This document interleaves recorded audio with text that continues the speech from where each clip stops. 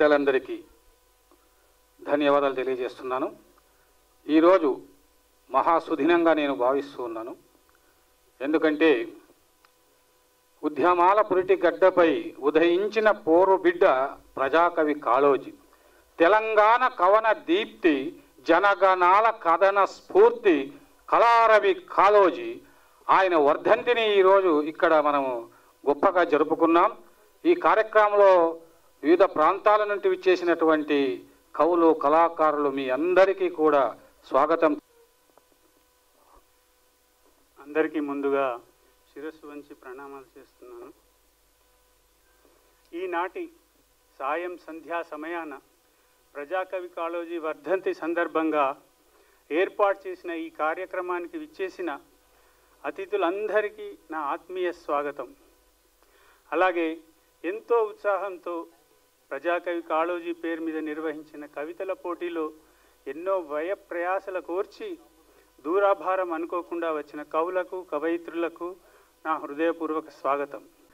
ఆయన ప్రతి అక్షరంలోనూ కూడా అక్షర సత్యాలు ఉన్నాయి. చాలా కష్టపడి ఇష్టపడి ఈ సినిమాని తీశారు. ముఖ్యంగా ఒక మాటలో ఆయన గురించి చెప్పాలంటే ఒక ఆయన ఒకే ఒక మాట చెప్తారు. జైని గారి గురించి. ఆయన ముప్పై ఏడు నవలలు రాసినప్పటికీ ఆయన నవలను సినిమాగా తీసుకోవచ్చు కానీ తీసుకోలేదు. కానీ అంపశయ్య నవీన్ గారు రాసినటువంటి అంపశయ్య నవలను క్యాంపస్ అంపశయ్యగా ఆయన ఇతరులు రాసిన నవలను తన సొంత డబ్బుతో చిత్రంగా నిర్మించాడంటే అతనికి సాహిత్యం పట్ల ఎంత మక్కువ ఆసక్తి అనురక్తి ఉందో ఒకసారి మీరు ఆలోచించాలి. అంతకన్నా గొప్ప కార్యం ఏమిటంటే గొప్ప చారిత్రాత్మకమైనటువంటి చిత్రాన్ని ప్రజాకవి కాలోజీ ప్రజాకవి కాలోజీ నిష్కలంక దేశభక్తుడే కాదు ఆయన. ఉద్యమాలకు ఊపిరిలూదినటువంటి ప్రజాకవి. అటువంటి గొప్ప కవి స్వచ్ఛమైనటువంటి కవి అచ్చమైనటువంటి కవి ఎందుకంటున్నానంటే అపవిత్రుని చేతిలో అక్షరాలు మైలపడతాయి పవిత్రుని చేతిలో దారిదీపాలు అవుతాయి అన్నాడు. అటువంటి పవిత్రుడు ప్రజాకవి కాళోజీ. ఆయన పైన మరి బయోపిక్ తీయడం అంటే అది గొప్ప సాహసము. మరి ఆయన అన్నట్టుగా ఎవరు ఏమనుకున్నా కూడా సంకల్పం మంచిది కాబట్టి చాలా అద్భుతంగా ఆ చిత్రాన్ని తీయగలిగారు. అందుకు ప్రభాకర్ జైన్ గారిని అభినందిస్తూ ఇప్పుడు మా అందరి గురువు ప్రభాకర్ జైన్ గారికి నాకు ఈ చిత్రంలో ఎంతో సహకారం అందించి ఎందుకంటే ఆయన ఒక గొప్ప కవి ప్రజా కవి కాళోజీ గురువు గారు సహకారం అందించాలంటే అన్ని విధాల మాకు సహకారం అందించినటువంటి గొప్ప మనసున్న మహా మనీషి ఎం నరసింహప్ప గారు. ఆయన చీఫ్ ప్రిన్సిపల్ సెక్రటరీగా భారతదేశంలో గొప్ప సంస్కరణలు ఇన్కమ్ ట్యాక్స్లో తెచ్చినటువంటి మన తెలుగు బిడ్డ మీరందరూ ఒకసారి కరతల ధ్వనులతో ఆయనకి అభినందించి హరిత విప్లవాన్ని తెచ్చినటువంటి మహానుభావుడు. ఆయన ఆశీస్సులతో ఈ సినిమాను ముందుకు తీసుకుని వెళ్తున్నాము. మరి గురువు గారు తమ సందేశాన్ని అత్యవసరమైనటువంటి పని ఉన్నప్పటికీ పాపం ఇంతసేపు కూర్చోబెట్టినందుకు క్షమించాలని చెప్పి కోరుతూ ఆయన తన యొక్క సందేశాన్ని ఇవ్వాల్సిందిగా కోరుతున్నాను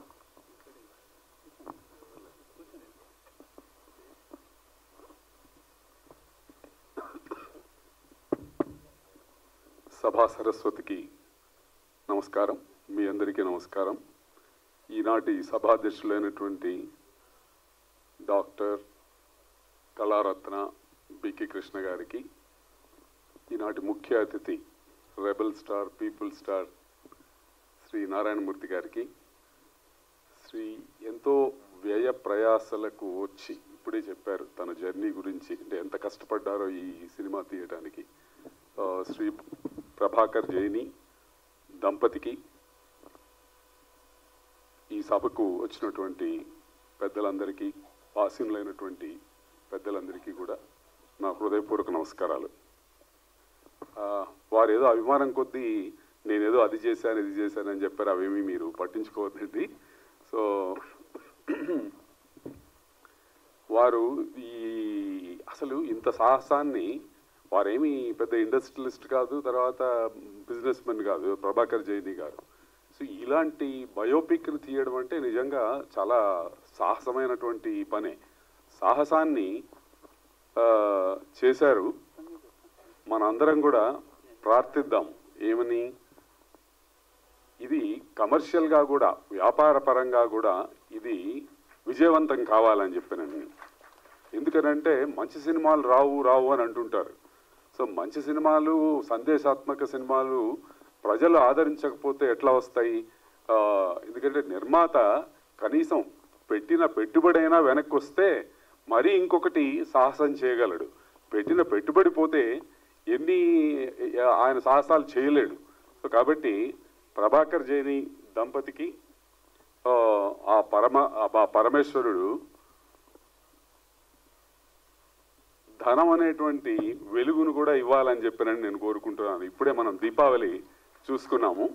సో నార్మల్గా కళాకారులందరికీ రుణం ఉంటుంది ధనం తక్కువగా ఉంటుంది. ఎందుకంటే కళకు సరస్వతి ముఖ్యం. సరస్వతి కటాక్షం ఉన్నటువంటి వాళ్ళు లక్ష్మీ కటాక్షం కొంచెం తక్కువగా ఉన్నట్లు మనకు కనిపిస్తుంది. సో కళాకారులందరికీ కూడా ధనమైనటువంటి ధనం అనేటువంటి కాంతి వాళ్ళ జీవితాల్లో కలగాలని చెప్పినని ముఖ్యంగా నిర్మాతలకి కళాకారులకి కలగాలని చెప్పారని సాంకేతిక కళాకారులు అందరికీ కలగాలని చెప్పారని నేను మనసారా ప్రార్థిస్తున్నాను భగవంతుణ్ణి. ప్రజాకవి గురించి మా ఇప్పుడే మనం చూసాము. అంటే ఎంత గొప్ప ప్రజాకవి ఆయన విప్లవ కవి. ఎందుకంటే ఉద్యమాలకు ఊపిరి. ఆయన కుటుంబాన్ని ఎప్పుడూ పట్టించుకోలేదు. పరుల కోసం ప్రజల కోసం పీడితుల కోసం పేద ప్రజల కోసం ఆయన తన జీవితాన్నంతా వెచ్చించాడు. నిర్భయానికి నిర్భీతికి నిజాయితీకి ఆయన మారుపేరుగా నిలిచారు. అలాంటి సందేశాత్మకమైనటువంటి సినిమాలు రావాలి. వచ్చినప్పుడే మనకు కొంత స్ఫూర్తి కలుగుతుంది. కాబట్టి ఈ ఈ సినిమాను గురించి మనం పది మందికి చెప్పి చూసేటట్లు ప్రోత్సహించాలి. ముఖ్యంగా మనందరం చూడాలి మొట్టమొదట. సో అని నేను కోరుతున్నాను. బిక్కి కృష్ణ గారు కొంతవరకు నేను ఇందులోకి రావడానికి బిక్కి కృష్ణ గారు కారణం. సో ఆయన కొంచెం ఎక్కువ పొగుడుతుంటారు. ఎందుకంటే కవులు ఎప్పుడు కూడా సో ఎక్కువే పొగుడుతారు కాబట్టి సో ఆయన పొగడ్తల్ని మీరు పట్టించుకోవద్దండి. అయితే ఆయన కవిత్వానికి నేను ముగ్ధున్నయ్యాను దాదాపు యాభై పుస్తకాలకు పైగా రాశారు. ముఖ్యంగా ఈ మధ్య ఒక గొప్ప విశేషం జరిగింది. ఏంటంటే అమెరికాలో తానా వాళ్ళు ఒక కాంపిటీషన్ పెట్టారు. అది రేపు ఆఖరి దినమనంగా ఆయన ఈరోజు సాయంకాలం చూశాడు. అది అనంత హైదరాబాద్ నుంచి అనంతపురం ప్రయాణం చేస్తూ ఉన్నప్పుడు ట్రైన్లో చూశాడు. సో ఆయన రాయడం మొదలుపెట్టాడు.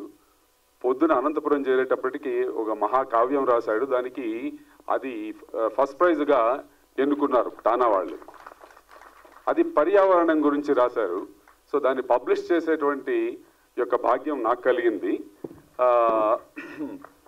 అలాంటి మహాకవి ఈ దశాబ్దపు కవిగా పేరొందినటువంటి వాడు మన బిక్కి కృష్ణ అనమాట ఈ తెలంగాణలో ఎట్లా రాశాడబ్బా? అసలుకి ఈ ఆశకి ఆయన రాయలసీమ వాడు మన మా మా జిల్లా వాడు అనంతపురం వాడు. సో ఎట్లా రాశాడంటే ఇప్పుడు విన్న తర్వాత నాకు తెలిసిందనమాట ఆయన సవ్యసాచి. అంటే ఇటు రాయలసీమ భాష అయినా ఆంధ్ర భాష అయినా తెలంగాణ యాస అయినా కూడా ఒడిసి పట్టి రాయగలిగినటువంటి సమర్థుడు.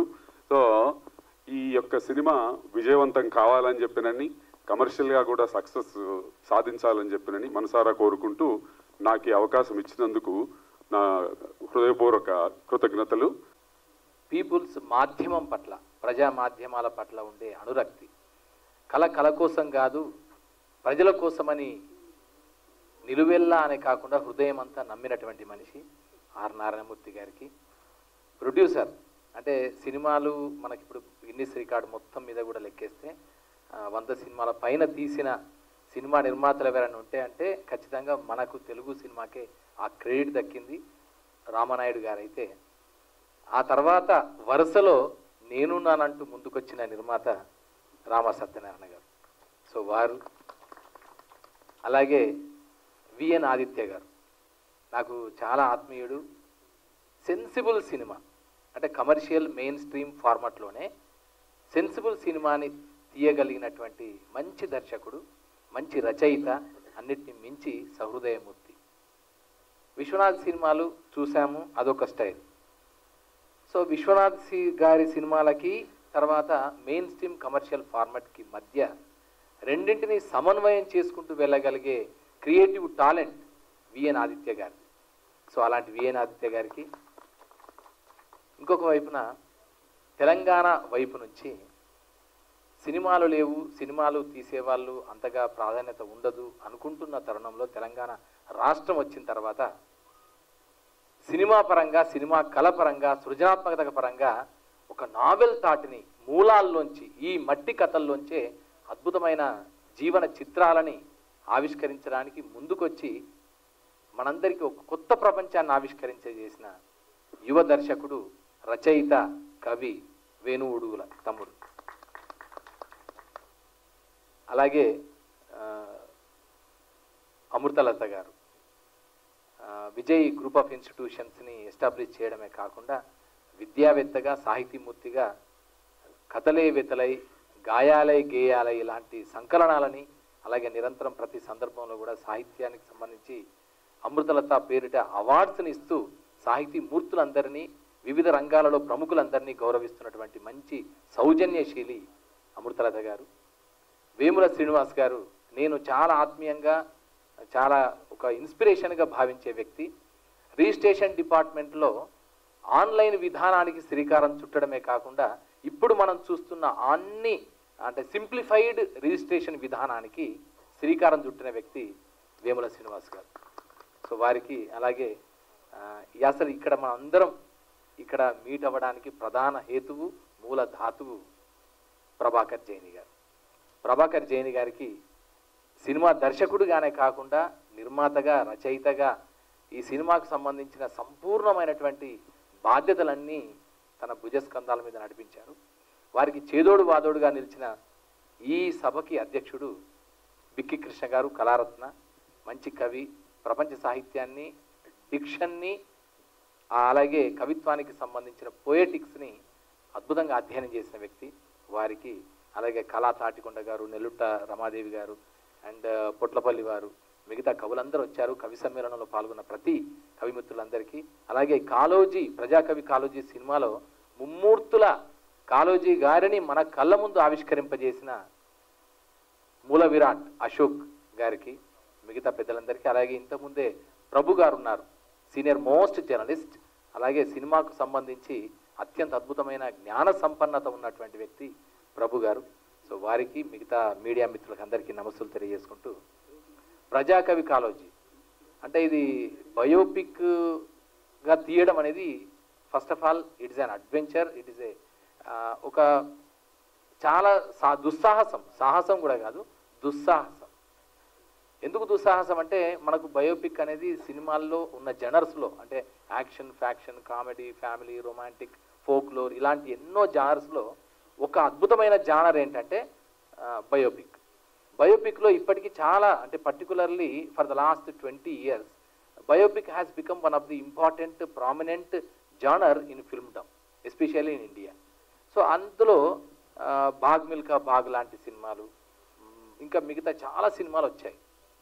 సో వాటిల్లో కొన్ని మాత్రమే సక్సెస్ అవుతున్నాయి మిగతావి అంతగా success కాలేకపోతున్నాయి. Reasons many reasons are there so దాంట్లో ఏంటంటే తెలంగాణకు సంబంధించి తెలుగు ప్రాంతానికి సంబంధించి ఒక కవి జీవితాన్ని సినిమాగా తెరకెక్కించడే తొలి ప్రయత్నం ఇక్కడ ప్రజాకవి కాలోజీ సినిమా ద్వారా జరిగింది.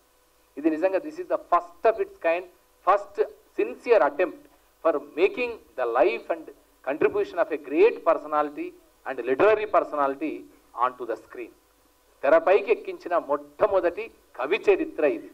ఇంతవరకు కవి చరిత్రలు అంటే శ్రీనాథ కవి సార్వభౌముడు లాంటి సినిమాలు వచ్చాయి కానీ సమకాలీన కవులలో ఈ వందేళ్ళ కాలంలో వచ్చిన కవులలో ఏ కవి జీవిత చరిత్ర సినిమాగా తెరపైకి రాలేదు. సాదత్ హసన్ మంటో ఆయన సినిమాను మాత్రం మంటో అనే పేరుతో తీశారు. అది బయోపిక్గా కానీ తర్వాత భారతదేశంలో ఉండే కవులు చాలామంది ఉన్నారు. They are also having all the potentialities for making a wonderful cinema వాళ్ళ ఉండే ట్విస్టులు టర్నులు లైఫ్లో ఉండే ఎత్తుపలాలు సంఘర్షణలు ఇవన్నీ ఉన్నాయి. కానీ ఎవరికి ఆ అవకాశం బహుశా దక్కలేదేమో. కానీ ప్రజాకవి కాళోజీ గారి బయోపిక్ని తీయడానికి కావలసిన అవకాశాన్ని ఎవరి ద్వారా వచ్చిందంటే ప్రభాకర్ జైని గారి ద్వారా వచ్చింది. ప్రభాకర్ జైని గారు ఆయనతో అంటే వరంగల్ ప్రాంతానికి సంబంధించిన వ్యక్తి కావడం ఒకవైపు అయితే ఆయన ఉద్యోగం అలాగే వ్యాపారం వాణిజ్యం వీటన్నిటితో పాటు సాహిత్యం పట్ల కవుల పట్ల మనుషుల పట్ల ఈ మట్టి పట్ల ఈ నేల పట్ల ఒక అమితమైన అనురక్తి అభిమానం కలిగిన వ్యక్తి. కాళోజీ గారు మనందరికీ తెలుసు ఇప్పుడు ఇంతకుముందే అనుకున్నాం పుట్టుక నీది చావు నీది బతుకంతా దేశానిది అనే ఒక్క ఈ మూడు లైన్లు చాలు. జయప్రకాష్ నారాయణ గారు చనిపోయినప్పుడు ఆయనకి నివాళిగా ఒక స్మృతి గీతంగా ఆయన ఈ కవితను రాశారు. అలాగే చాలా నా గొడవ అనే పేరుతో అద్భుతమైన కవిత్వాన్ని సాధారణమైన అలతి అలతి పదాలతో మనకు తెలిసిన పదాలతో మనకు తెలిసిన వాక్యాలతోనే జీవన చిత్రాన్ని ఆవిష్కరించారు. ఖలీల్ జిబ్రాన్ రాసిన ప్రాఫెట్ అనే గ్రంథాన్ని ఆయన జీవన గీత అనే పేరుతో ట్రాన్స్లేట్ చేసి తనదైన శైలిలో ప్రపంచానికి అందించే ప్రయత్నం చేశాడు. తెలుగు వారందరికీ ఆ contribution that is the one of the prominent contribution so ఇటువైపు ఒకవైపు అయితే జీవితంగా వ్యక్తిగా చాలా గమ్మత్తైన జీవితం. ఏది నమ్మాడో ఏది ఆచరించాడు అదే ఆచరించాడు. ఏది అన్నాడో అదే ఆయన జీవితంలో చూపించాడు. అంటే ఇక్కడ జనరల్గా సాహితీమూర్తికి కానీ వ్యక్తులకు కానీ మాటకి ఆచరణకి మధ్య ప్యారలల్ లైన్స్ ఉంటాయి. రైలు పట్టాల్లాగా ప్యారలల్గా నడుస్తున్న సందర్భాలు ఎక్కువ. కానీ ఒకే సింగిల్ లైన్ మీద ఏక రేఖ మీద సరళ రేఖ మీద నడిచిన ఒకే ఒక వ్యక్తి తను అనుకున్న జీవితాన్ని తను ఊహించిన జీవితాన్ని తన అన్న జీవితాన్ని తన జీవితంలో చూపించి నేర్పించిన వ్యక్తి అంత నిబద్ధతగా నిజాయితీగా ఉన్న వ్యక్తి ప్రజాకవి కాళోజీ. సో ఈయన ఆయన జీవితాన్ని ఆ తెరపైకి ఎక్కించడం అనేది చాలా కత్తి మీద సాము లాంటి వ్యవస్థ. గతంలో ప్రభాకర్ జైని గారు అంపశయ నవలని చాలా అద్భుతంగా తెరకెక్కించారు. అలాగే ఆ అనుభవం ఉంది ఆ జ్ఞానం ఉంది. దానికి సంబంధించి ప్రజాకవి కాలేజీ గారితో కొంత ఆ ప్రత్యక్ష అనుభవం కూడా ప్రత్యక్ష పరిచయం కూడా ప్రభాకర్ జైని గారికి ఉండడం వీటన్నిటికీ నేపథ్యంలో ఈ సినిమా వచ్చింది. ఈ సినిమాకి పాప ఆయన ఎన్ని వ్యయప్రాసాలు పడ్డాడో అది దేవుడికి ముట్టింది. నిజంగా దేవుడికి ముట్టింది అని తెలంగాణలో ఏమంటాం అంటే ఎంత కష్టపడ్డా అంటే అరే నా కష్టం అంతా దేవుడికి ముట్టింది పోయి అంటాం అంత దేవుడికి ముట్టింది నిజంగా చెప్పాలంటే. అంత కష్టపడ్డాడు. ఎంత ప్రేమగా చేశారంటే సినిమా పట్ల ప్రేమ ఆరాధన. తను రిటర్న్ విజువల్స్ని చాలా రాశాడు. Return visuals. అంటే విజువల్స్ని అక్షరాల్లో రూపొందించి ఒక రచయితగా అద్భుతాలు సృష్టించాడు. అలాగే తెర మీద ఈ అక్షరాలని ఆవిష్కరిద్దాం అనుకున్నాడు. ఆ ప్రయత్నంలో ప్రజాకవి కాళోజీ సినిమాని బయోపిక్గా తీశాడు. సో ఇప్పుడు పాటలు కూడా మనం చూసాం. చాలా కదిలించే పాటలు జీవమున్న సాహిత్యం ఉన్న పాటలు అలాగే చక్కని దృశ్యము చక్కని చిత్రీకరణ ఆ టీజర్ లాంచ్ కూడా ఈ రోజు జరిగింది. ఇది రాబోయే కాలంలో విడుదల అయిన తర్వాత సినిమా అందరి ఆదరణను పొంది ప్రజాకవి కాళోజీకి ఒక నివాళిని నీరాజనని అందించాలని కోరుకుంటున్నా. అలాగే దీనికి సంబంధించి ప్రభాకర్ జైని గారు నిజంగా అంటే ఎప్పుడు అనుకుంటాను నేను. తాపత్రయపడతాడు. మామూలు తాపత్రయం కాదు. ఏదో చేయాలి ఏదో చేయాలి. లోకానికి సమాజానికి ప్రజలకి ఏం చేయాలి ఏం చేయాలంటే నేను క్రియేటివ్ పర్సన్ కనుక క్రియేటివ్గా I must contribute I must extend my entire support to the entire community through the creative terms through the creative arts అని అనుకుంటాడు. అందుకని ఆయన ఈ రూపంలో ఈ సినిమాని తీశాడని భావిస్తాను. సో అలా ఒక మంచి కవికి ఒక అద్భుతమైన దృశ్య నీరాజనాన్ని దృశ్య నివాళిని అర్పించాడు. సో అలాంటి దృశ్య నివాళిని అర్పించి మనందరిలో ఇప్పుడు చూసాం కళ్ళు చెమ్మగిల్లే దృశ్యాలని మనకు ఆవిష్కరించాడు. సో అలాంటి మంచి దర్శకుడు ప్రభాకర్ జైని గారికి మరొకసారి శుభాకాంక్షలు. అలాగే విజయలక్ష్మి జైని గారికి ఈ సినిమాని ప్రొడ్యూస్ చేయడం అనేది సాహసంతో కూడిన పనే. అంటే ఇది వర్కౌట్ అవుతుందో కాదో తెలీదు. ఇన్వెస్ట్మెంట్ తిరిగి వస్తుందో రాదో తెలియదు ఎన్ని థియేటర్లో రిలీజ్ అవుతుందో కూడా తెలియదు అసలు ఇది ఏమవుతుందో కూడా తెలియదు అలాంటి ఒక అనిశ్చితమైనటువంటి వ్యవస్థల్లోంచి కేవలం ఒకే ఒక లక్ష్యం ఒకే ఒక గమ్యం ఒకే ఒక గమనం. అది సినిమా పట్ల ప్రేమ కాళోజీ గారి జీవితం పట్ల ఒక భక్తి. ఈ ప్రేమ భక్తి ఆ రెండు కలిపిన తర్వాత వచ్చిందే మనకి ఇప్పుడు కనిపించిన సినిమా. సో ఈ సినిమాని ఒక మనిషి ఒక సృజనాకారుడు ప్రేమగా భక్తిగా ఆరాధనగా తీసిన సినిమాగా భావిస్తున్నా. ఆ ఆరాధన ఆ భక్తిలో ఉండే నిష్కల్మషత ఆ స్వచ్ఛత ఖచ్చితంగా ప్రజలందరి ఆదరాభిమానాన్ని కూడా గెలుచుకుంటుందని భావిస్తూ ఆ దేవుడు ప్రభాకర్ జైని గారి సంకల్పానికి సాకారం చేయాలని సంకల్పాన్ని సఫలం చేయాలని కోరుకుంటూ అందరికీ నమస్సులు అందరికీ శుభాకాంక్షలు. అందరికీ సభకు నమస్కారం. నిజంగా నాకు ఇక్కడ ప్రసాద్ ల్యాబ్లో ఉన్నట్లేదు. మా వరంగల్లో పబ్లిక్ గార్డెన్ టౌన్ హాల్లోనో లేకపోతే అశోక హాల్లోనో ఉన్నట్టుంది. ఇక్కడ అందరూ మొత్తం వరంగల్ వాళ్ళే కనిపిస్తున్నారు. సో పొట్లపల్లి గారు మా అన్వర్ అన్న అందరు చాలామంది ఉన్నారు ఇక్కడ. నాకు కరెక్ట్గా ఫిఫ్టీన్ ఇయర్స్ ఏజ్లో అన్వర్ అన్న నన్ను ఫస్ట్ మిత్రమండలికి మిత్రమండలి కాదు ఆ, గారి ఇంటికి తీసుకొచ్చారు ఫస్ట్ టైం. అప్పుడే పొట్లపల్లి గారిని తర్వాత రామశాస్త్రి గారిని వీళ్ళందరినీ చూడడం జరిగింది. చాలా సంతోషం. వేదిక మీద ఉన్న పెద్దలందరికీ నమస్కారం. ప్రభాకర్ జైని గారు చాలా రిస్క్ చేసి ఒక అద్భుతమైన దృశ్య కావ్యాన్ని మనకు చూపించారు. ఈ సినిమా హండ్రెడ్ పర్సెంట్ సక్సెస్ అవ్వాలి అవ్వద్ది కూడా. రెండోది ఏంటంటే థియేటర్లు దొరకట్లేదు ఇంకోటి ఇంకోటి అనుకుంటారు. అదేమీ లేదు మంచి సినిమాకి ఎప్పుడు కూడా థియేటర్లు దొరుకుతాయి. ఆ బాధ్యతని నేను తీసుకుని ఈ సినిమాని ఆంధ్రప్రదేశ్ అండ్ తెలంగాణలో అద్వితీయంగా విడుదల చేయడానికి నేను సిద్ధంగా ఉన్నాను ఇంతకుముందు ప్రామిస్ చేశాను. ఆ మాట మీద ఇంకా ఉన్నాను. ఖచ్చితంగా ఈ సినిమాను ప్రజల్లో తీసుకెళ్ళే బాధ్యత నాకుందని తెలియజేస్తూ నాకు ఈ అవకాశం ఇచ్చిన మీరు అందరికీ కూడా ధన్యవాదాలు తెలియజేస్తున్నాను. థ్యాంక్ యూ మిత్రులు మామిడి హరికృష్ణ గారు కానీ గురు సమానులు ఆర్ నారాయణమూర్తి గారు కానీ ఉన్న సభలకి వాళ్ళని వినటానికి వస్తాను మాట్లాడటానికి కాదు. ఎందుకంటే జీవితంలో ఒక్కొక్కసారి మనకి కొన్ని అన్ని విషయాలు తెలియాలని లేదు. కానీ ఐ ఓపెనర్గా కొన్ని విషయాలు ఖచ్చితంగా తెలియాలంటే కనుక డెఫినెట్గా వాళ్ళని వినటం ద్వారానే నేను చాలా నేర్చుకుంటాను.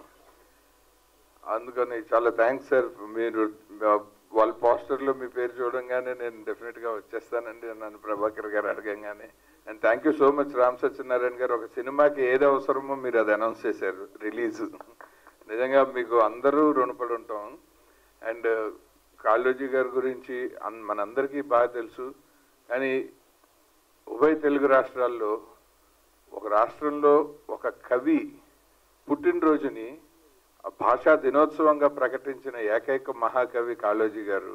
అది నిజంగా గొప్ప అచీవ్మెంట్ సాహిత్యానికి ఎంత కృషి చేసి ఉంటే ప్రజల కోసం ఎంత అక్షరంతో పోరాడి ఉంటే చాలామంది అక్షరాన్ని అమ్మి వాళ్ళ జీవితాన్ని చక్కగా చక్కదిద్దుకున్న వాళ్ళు ఉన్నారు. కానీ ప్రజా పోరాటాల కోసం అక్షరాన్ని ఒక ఆయుధంగా మలిచిన వాళ్ళు చాలా తక్కువ మంది ఉన్నారు.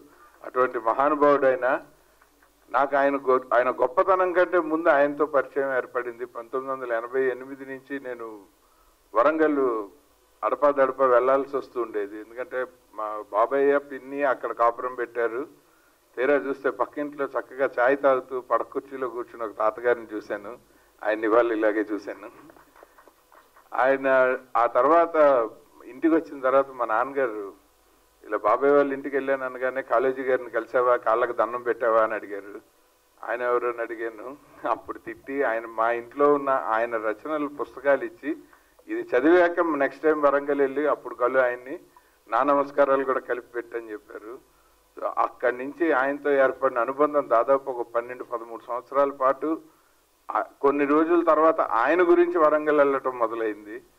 అలాంటి జీవితంలో చాలా ముఖ్యమైన దశలో అటువంటి మహానుభావులతో పరిచయం అవటం మా పూర్వజన్మ సుకృతంగా భావిస్తాను. ఇవాళ ఆయన చరిత్రను సినిమాగా ముందరకు తీసుకొచ్చినందుకు ముందు నిర్మాత విజయలక్ష్మి గారు దర్శకులు ప్రభాకర్ గారు రచయిత బిక్కీ కృష్ణ గారు అండ్ అలాగే ఇందులో నటించిన మూల విరాట్ గారు తదితర నటీనటులు సాంకేతిక నిపుణులందరికీ మనస్ఫూర్తిగా వాళ్ళందరికీ కాళోజీ గారి ఆశీస్సులు ఉండాలి.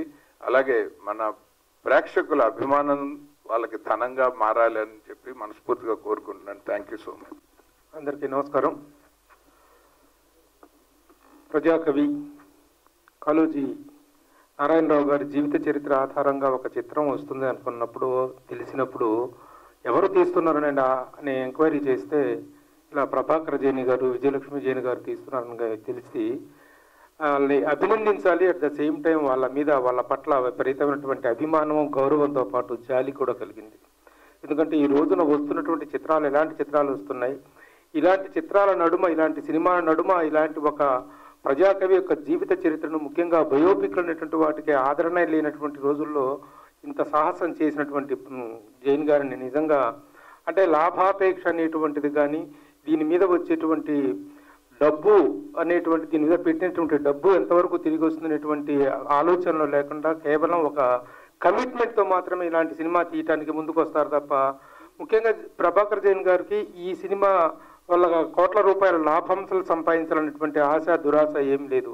ఒక గొప్ప సినిమా తీసామన్నటువంటి ఆత్మ సంతృప్తి కోసమే ఈ సినిమా తీశారని నేను అనుకుంటున్నాను తప్ప ఒకవేళ దేవుడి దయ వల్ల ఆ ఆద అది కూడా వస్తే ఆర్థిక పరిపుష్టి కూడా ఆయనకు ఏర్పడినట్లయితే ఇంకా ఇలాంటి మంచి సినిమాలు ఆయన దగ్గర నుంచి రావడానికి ఆస్కారం ఏర్పడుతుంది తప్ప సినిమాల ద్వారా డబ్బు సంపాదించి వ్యాపార చేయాలనేటువంటి ఫిలిం కమర్షియల్ బిజినెస్ చేయాలనేటువంటి ల- ఆ లక్ష్యం అలాంటిది ఆ ఆలోచనే లేనటువంటి వ్యక్తి. ఇందాక ఆయన చెప్పారు ఇందాక ఎలాంటి సినిమాలు వస్తున్నాయి ఎలాంటి పొద్దున్న లేస్తే క్యారెక్టర్స్ హీరోల క్యారెక్టర్స్ హీరోయిన్ల క్యారెక్టర్స్ చూస్తుంటే తాగుడు తిరుగుడు వాగుడు తూగుడు ఇవి తప్ప మరొక క్యారెక్టరైజేషన్ లేనటువంటి ఒక దౌర్భాగ్యమైనటువంటి ఒక రెక్లెస్నెస్ని కేర్లెస్నెస్ని ఒక యాటిట్యూడ్ని మాత్రమే చూపించేటువంటి పాత్రలతో సినిమాలు తయారవుతున్నటువంటి సందర్భంలో ఒక ప్రజాకవి యొక్క జీవితాన్ని తెరకెక్కిష్టమైనటువంటి గొప్ప సాహసానికి పూనుకున్నందుకు ముందుగా వారికి నా అభినందనలు తెలియజేస్తున్నాను.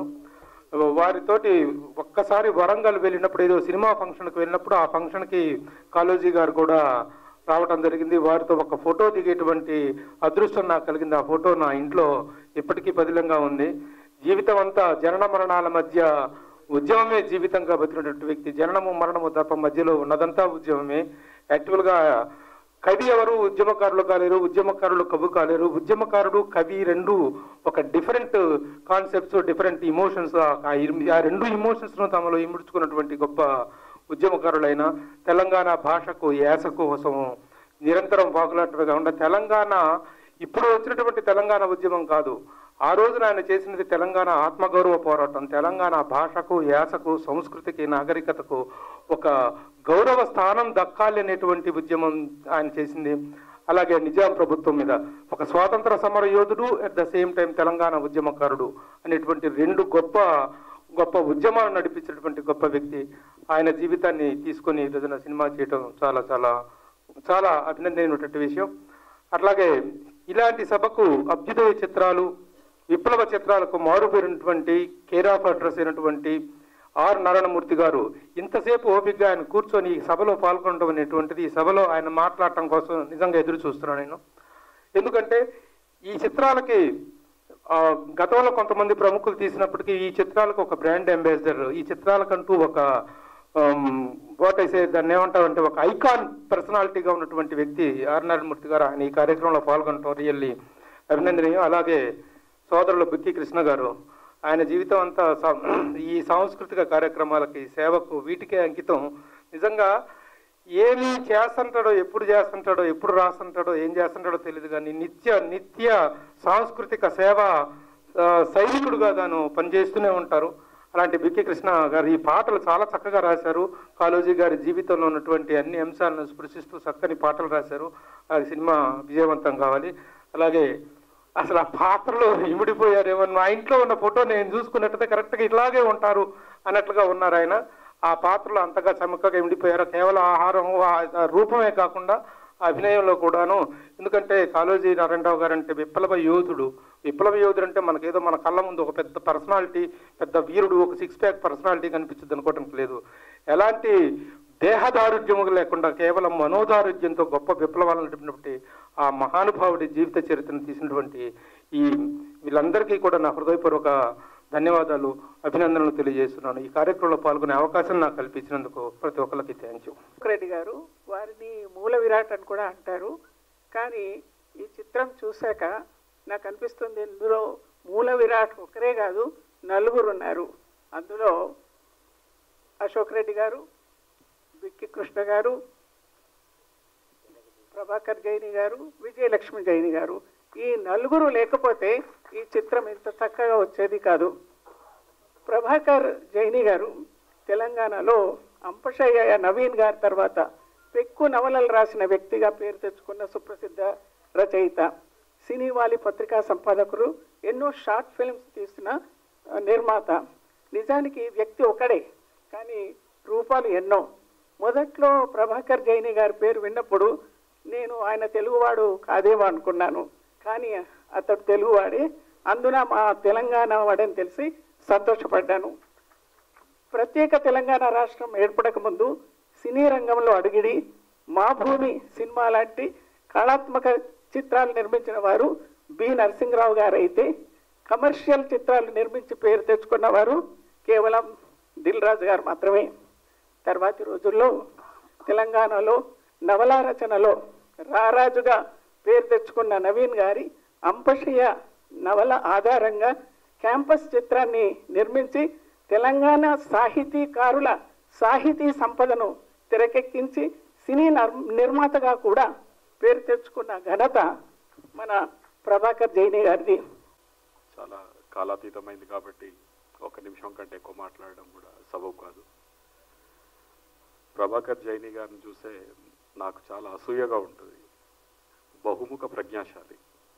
అన్ని నవలలు రాయడం ఏంటి? నాకు ఇప్పుడు కాదు యాక్చువల్లీ. ప్రజ్ఞ అనే పుస్తకానికి పాండంగా పాండరంగారెడ్డి గారి దగ్గర తను శిష్యరికం చేసి ప్రజ్ఞా పుస్తకం ద్వారా తెలంగాణలో కాకుండా మొత్తం ఆంధ్రప్రదేశ్లో ప్రిపేర్ అవుతున్నటువంటి తెలుగు మీడియం విద్యార్థులకి సివిల్ సర్వీసెస్కి గ్రూప్ వన్కి గ్రూప్ టూకి ఇట్లాంటి ఉద్యోగార్థులందరికీ కూడా ఒక గైడెన్స్ చాలా ఏళ్ళ క్రితమే మొదలుపెట్టి నవలలు. తను కమర్షియల్ ట్యాక్సెస్లో పనిచేస్తున్నప్పుడు అప్పటికి ఇంకా స్టాక్ మార్కెట్ అసలు భూమ్ అంటే తెలియదు. స్టాక్ మార్కెట్ అంటే కూడా సమాజానికి తెలియదు ఇంకా పంతొమ్మిది వందల తొంభైలో. అప్పుడే ఒక స్టాక్ మార్కెట్లో జరుగుతున్నటువంటి వక్రగతుల గురించి అధ్యయనం చేసి తను ఒక నవల రాసి అప్పుడు ఒక సెన్సేషన్ తను రాసిన నవల. Money to Chor Bazaar. చోర్ బజార్ లాంటి నవల. తను ఇటు సాహిత్యం వైపు ఉంటాడు అనుకుంటే తను రిటైర్ అయిపోయిన తర్వాత చిత్రాలు నిర్మించాలి చిత్రాలకి దర్శకత్వం వహించాలనేటువంటి కోరిక మెండుగా ఉండడమే కాకుండా మామూలు చిత్రాలు కాదు నేను తీసేది సమాజానికి అక్కడికి వచ్చేటువంటి చిత్రాలు తీయాలనేటువంటి కంకణబద్దులై అటు అంపశయ నవీన్ గారు రాసినటువంటి అంపశయ నవల మీద తర్వాత ఈరోజు మనం చూసినటువంటి కాలోజీ గారు. అసలు ఇవి అసామాన్యమైనవి. ఎందుకంటే ఆయన శ్రీమతి గారి పేరులోనే విజయం ఉంది లక్ష్మి ఉంది. ఆయనకు మాత్రమే సాధ్యం అది. ఆమె వల్లనే ఆయన నడుస్తున్నాడని నేను భావిస్తున్నా. ఎందుకంటే లక్ష్మి లేకుండా ఇవి కదిలేటి కావు. సో లక్ష్మి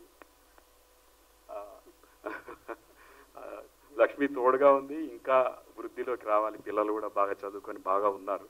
డెఫినెట్గా వారందరికీ కూడా భగవత్ ఆశీర్వాదం ఉంటుంది. అట్లాగే కాలోజీ గారికి మాకు అంటే ప్రభాకర్ గారికి మా అందరికి కూడా వరంగల్తో మేమంతా వరంగల్ వాసులు. ఒక అనుబంధం. ఒక కోటి మందిలో ఒక్కడు పుడతాడు కాలోజీలో అంటాడు. ఒక్కడు పుట్టడం కూడా కష్టమే. ఇంతమంది మనుషుల మధ్యలో ఒక మనీషి పుడితే ఆ మనీషి వెనుక ఒక పాటలో ఒకటి అంటే అన్ని పాటలు చాలా బాగున్నాయి చాలా గొప్పగా ఉన్నాయి. భార్య అంటుంటుంది నువ్వు ప్రపంచం కోసం బతికావు నా గురించి పట్టించుకోలేదనేటువంటి నింద్యాస్థితి ఉంటుంది ఆ పాటలో పట అద్భుతంగా తీశారు సార్. హ్యాట్స్ ఆఫ్ సో ఈ పాటలు కానీ తర్వాత కన్నడ భూమికి తెలంగాణకి ఎప్పటి నుంచో ఒక అవినాభావ సంబంధం ఉంది.